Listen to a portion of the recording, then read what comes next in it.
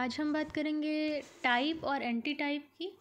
Type और anti type को हम लिटरेरी क्रिटिसिज्म में पढ़ते हैं। तो उससे पहले हम जान लेते हैं कि टाइप और एंटी टाइप को भी जानने से पहले हम ये जान लेंगे कि टाइपोलॉजी क्या होती है, किस बारे में है ये बात। तो टाइपोलॉजी का मतलब होता है कि इंटरप्रिटेशन ऑफ़ बाइबल जब हम बाइबल को पढ़ते हैं और उसके सिंबल्स को, उसके पिक्चर्स को, उसके इवेंट्स को, उसके इम्पोर्टेंट पीपल को और उसके एक्शंस को जब हम इंटरप्रेट करते हैं, जो कि अगर हम बिना इंटरप्रिटेशन के पढ़ें तो वो सीधा सीधा नहीं होता है कि हम उसको आसानी से पढ़ के समझ जाए। तो उसके इंटरप्रिटेशन के लिए एक पूरी दूसरी लाइन बनी हुई है जिसे हम टाइपोलॉजी कहते हैं। तो इस टाइपोलॉजी के अंदर बेसिकली हम बाइबल को इंटरप्रेट करते हैं उसे आ, अच्छी तरीके से थॉरोली पढ़कर। अब हम जानेंगे कि टाइप और एंटी टाइप क्या होता है। ये बेसिकली टाइपोलॉजी के अंदर ही आते हैं जो हमारा बाइबल के अंदर एक ओल्ड टेस्टामेंट है और एक न्यू टेस्टामेंट है। तो हम ये बस जान लेते हैं कि ये जो ओल्ड टेस्टामेंट है, वो टाइप से रिलेटेड है और न्यू टेस्टामेंट है जो वो एंटी टाइप से रिलेटेड है। अब कैसे ये दोनों एक दूसरे से रिलेटेड हैं, ये हम जान लेंगे।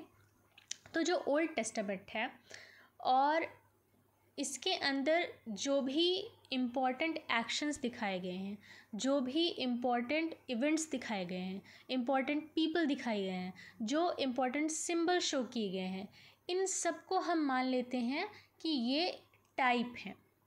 पहले तो ये जान लेते हैं कि before knowing about types and anti types हमको ये जान लेना है कि पूरे बाइबल में जो भी इंपॉर्टेंट इवेंट्स हुए हैं या एक्शंस हुए हैं या जो भी इंपॉर्टेंट पीपल हैं, उनको बाइबल में कहा जाता है फिगर अब ये फिगर जो हैं, अगर ओल्ड टेस्टामेंट में आए हैं तो इनको हम टाइप्स कहेंगे।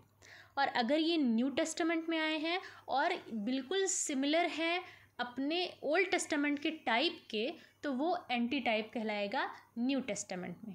तो अगर ओल्ड टेस्टामेंट में है कोई सिंबल या कोई इवेंट या कोई एक्शन तो वो है टाइप और उसी से मिलता जुलता इवेंट या एक्शन या कोई सिंबल या कोई इंपॉर्टेंट पर्सन है न्यू टेस्टामेंट में, जो कि बिल्कुल याद दिलाता है कि अरे, ये तो ओल्ड टेस्टामेंट की ही जैसी कहानी लग रही है ओल्ड टेस्टामेंट के जैसा ही कोई एक्शन लग रहा है। या ये इंसान तो बिल्कुल ओल्ड टेस्टामेंट के उस आदमी जैसा लग रहा है।